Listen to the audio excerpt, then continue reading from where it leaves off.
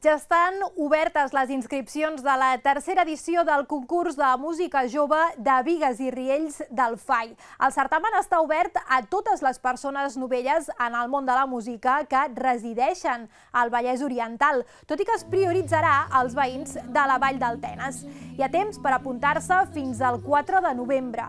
El tercer concurs de música jove es farà al Teatre Auditori Polivalent el 2 de desembre. Durant el matí de dissabte es faran les proves de so i a la tarda les actuacions. L'acte és gratuït i està obert a tots els públics. L'objectiu d'aquest concurs és donar una oportunitat als joves per mostrar el seu talent musical, premiar-los de manera que puguin començar a desenvolupar el seu propi projecte i generar un espai de trobada entre músics. En l'edició anterior, el concurs de música jove va comptar amb la participació de cinc grups de la comarca que van demostrar tot tipus d'estils, des de jazz al rock més dur.